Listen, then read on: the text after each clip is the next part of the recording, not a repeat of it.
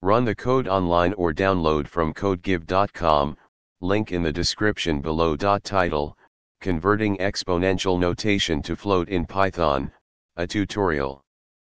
Introduction Exponential notation, also known as scientific notation, is a way of expressing numbers as a product of a coefficient and a power of 10. While it's convenient for representing very large or very small numbers, sometimes we may need to convert these numbers into standard float format for better readability or manipulation.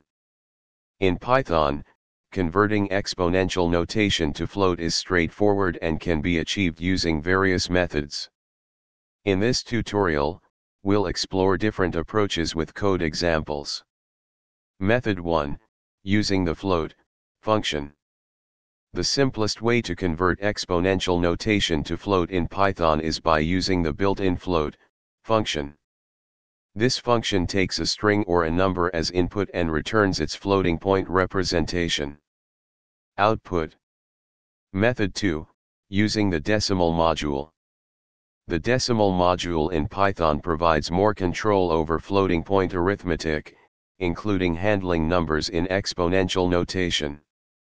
Output Method 3, using string formatting. Another way to convert exponential notation to float is by using string formatting techniques. Output Conclusion Converting exponential notation to float in Python is a common task and can be achieved using various methods such as the float function, the decimal module, or string formatting. Each method offers flexibility and control over the conversion process. Choose the one that best suits your requirements based on your specific use case. ChatGPT